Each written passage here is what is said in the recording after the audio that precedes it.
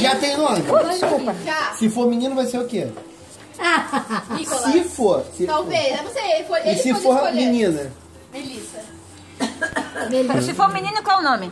Essa, é é Leandro. Essa é brima, Leandro, qual, se for menino, qual o nome?